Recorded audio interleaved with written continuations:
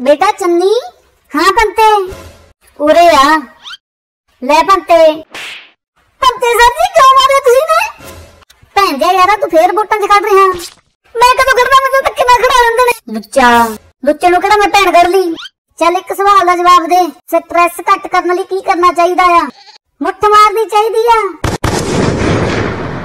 ਹਾਂ, ਸਹੀ ਕਿਹਾ, ਮੁੱਠ ਮਾਰਨੀ ਚਾਹੀਦੀ ਆ। ਥੋੜਾ ਜਵਾਨ ਸੰਭਾਲ ਕੇ ਬੋਲਿਆ ਕਰੋ, ਸਾਲਿਓ। ਮੈਨੂੰ ਜੇ ਗੁੱਸਾ ਆ ਗਿਆ, ਕੀ ਕਰ ਲੇਗਾ ਜੇ ਗੁੱਸਾ ਆ ਗਿਆ ਤੈਨੂੰ? ਚੁੱਪ ਲਾਓ ਫੇਰ। ਬਸ।